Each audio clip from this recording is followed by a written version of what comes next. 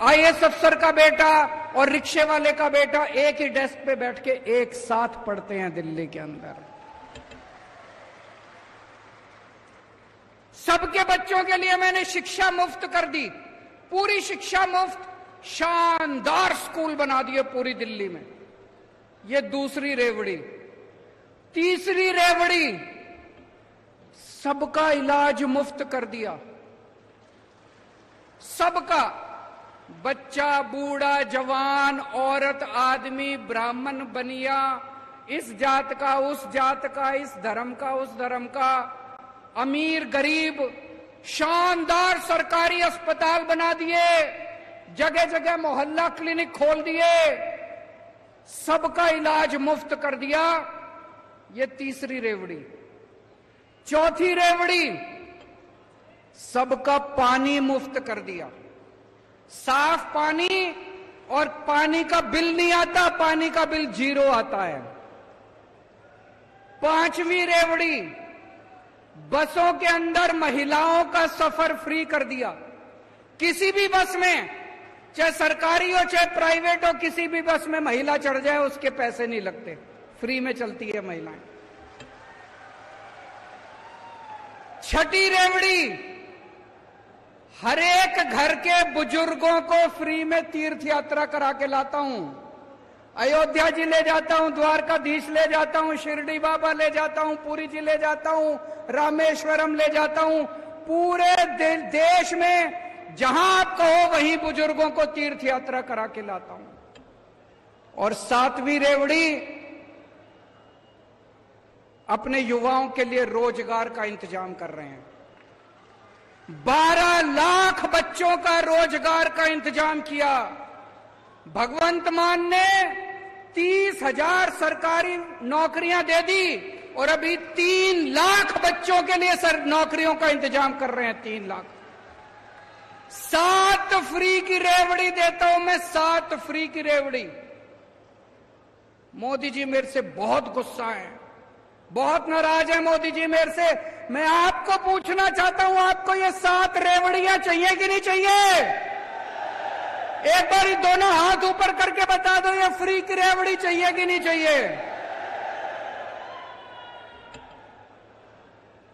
मैं मोदी जी से कहना चाहता हूँ, मोदी जी, इतनी महँगाई कर रखी है आपने चारों तरफ़, इतनी महँगाई कर रखी है। मैंने अगर हर इंसान की चेहरे पे थोड़ी सी मुस्कान ला दी तो बताओ मैंने क्या पाप कर दिया। इतनी महँगाई हो रही है चारों तरफ़। मैंने एक आदमी से पूछा, बोला, जी, आजकल घर का खर्चा नहीं चलता।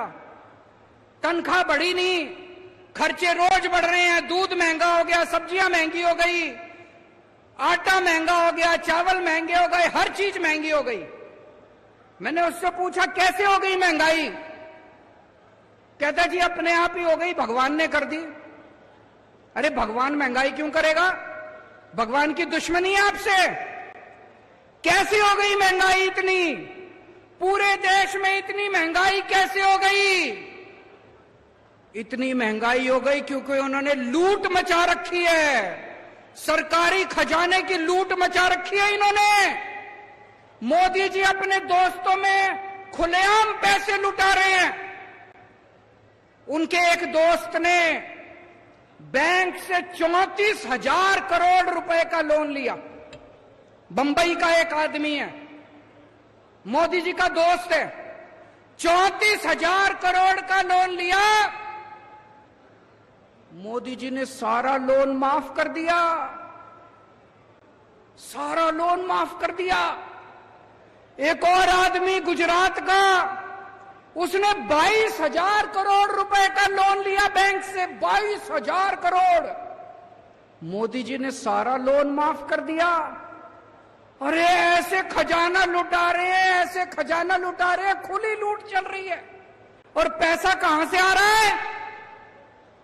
आपके ऊपर टैक्स लगा रहे हैं। दूध पे टैक्स लगा दिया, छाछ पे टैक्स लगा दिया, पनीर पे टैक्स लगा दिया आटे पे टैक्स लगा दिया, चावल पे टैक्स लगा दिया, तेल पे टैक्स लगा दिया, हर चीज़ पे टैक्स लगा दिया। अंग्रेज़, हम कहते अंग्रेज़ हमारा खून चूसते थे। इतना खून तो अंग्रेज़ों ने भी नहीं चूसा। अंग्रेज़ों ने भी कभी आटे पे टैक्स नहीं लगाया था। अंग्रेज़ों ने कभी दूध पे टैक्स नहीं लगाया था। अंग्रेज़ों ने कभी चाय पे टैक्स नहीं लगाया था। अंग्रेज़ों ने कभी चावल पे खाने पीने की चीज़ों पे टैक्स नहीं लगाया था। पिछले पचहत्तर साल में एक बार भी खाने पीने की चीज़ पे टैक्स नहीं लगा था। देश में पहली बार मोदी ने पहली बार टैक्स लगाया खाने पीने की चीज़। और कितना टैक्स? पेट्रोल ले लो, पेट्रोल क्या भाव है यहाँ पे मध्य प्रदेश में? 108 रुपए। 108 रुपए पेट्रोल है आपके यहाँ। उसमें सत्तावन रुपए पेट्रोल और बाकी सारा टैक्स। सत्तावन रुपए का पेट्रोल, बाकी सारा टैक्स। सोचो कितना टैक्स ले रहे हैं ये। कितना टैक्स ले रहे हैं ये। ये सारा टैक्स का पैसा। पूरे देश से टैक्स का पैसा लूट के बीस हज़ार करोड़ इसको दे दिए, तीस हज़ार करोड़ इसको दे दिए, चालीस हज़ार करोड़। बांट दिया सारा पैसा, लूट लिया सारा पैसा।